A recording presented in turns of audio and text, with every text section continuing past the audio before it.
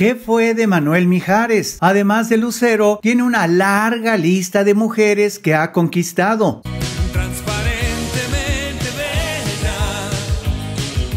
Su nombre completo es José Manuel Mijares Morán. Nació el 7 de febrero de 1958 en la Ciudad de México. Sus abuelos fueron inmigrantes asturianos, mientras que sus padres fueron el doctor José María Mijares Marquina y la maestra de flamenco María del Pilar Morán. Desde los siete años se sintió atraído por la música, por lo que participó en el coro de su escuela para cantar en varios festivales. A los 15 años, en 1973, ingresó a un grupo músico vocal llamado Sentido, pero su madre le pidió que le diera una carrera profesional, por lo que estudió Administración de Empresas en la Universidad Intercontinental. No obstante, aun cuando cursaba sus estudios, jamás dejó de lado la cuestión musical. Sus primeras presentaciones se dieron en un café llamado El Ágora, que era tipo galería y librería. Posteriormente comenzó a cantar con el grupo Los Continentales en bodas y eventos sociales sociales en general. Por esa misma época realizó una prueba para ser corista del cantante Emanuel, siendo seleccionado. De esta forma comenzó a viajar por toda la República Mexicana, acompañando a quien en el futuro se convertiría en su gran amigo y colega sobre los escenarios.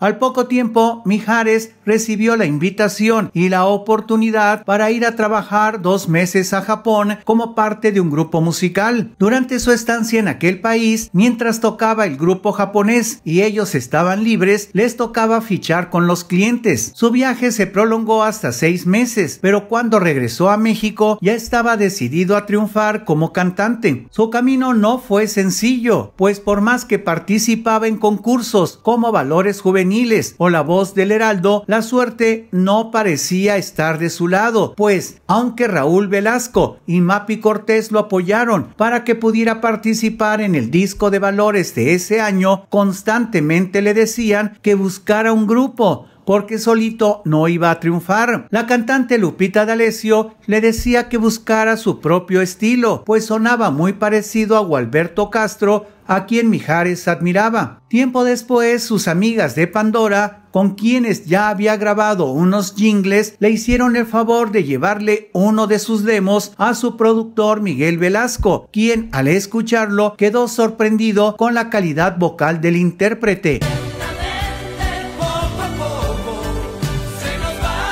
Fue así que en 1985 la disquera EMI Capitol lo firmó y le dio la oportunidad de grabar. Su primer LP llamado Manuel Mijares fue lanzado al mercado en 1986, del cual sobresalieron los éxitos Bella, Poco a Poco y Siempre, que le permitieron ascender no solo a nivel nacional, sino también internacional y ganar su primer disco de oro. Ese mismo año obtuvo por el tema Soñador el premio Revelación del año en la edición número 15 del Festival OTI. En 1987 debutó como actor en la película Escápate conmigo al lado de Lucero y aunque esta es una faceta que no continuó, en 1995 realizó una intervención especial en Lazos de Amor, también junto a Lucero.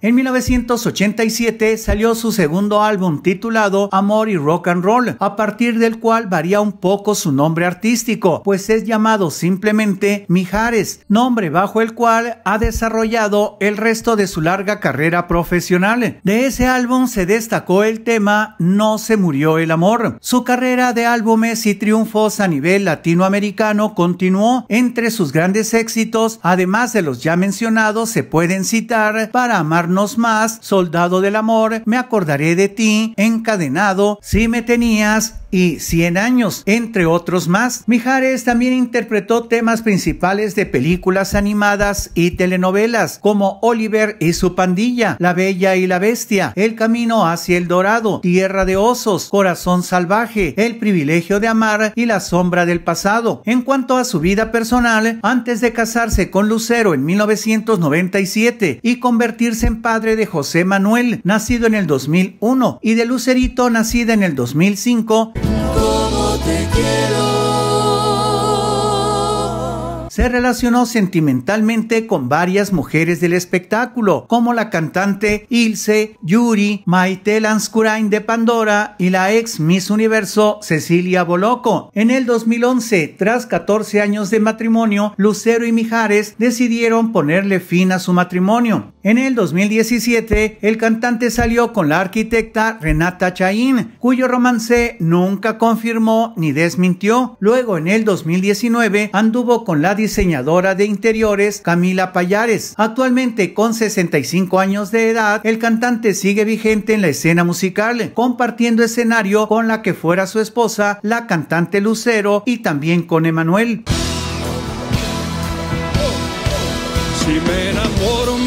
Bien, si deseas saber más de alguna famosa o famoso, escribe en los comentarios. Y si te parece interesante este video, dale me gusta, compártelo con tus amigos y suscríbete a este canal. Soy Marco Antonio Velázquez, hasta la próxima.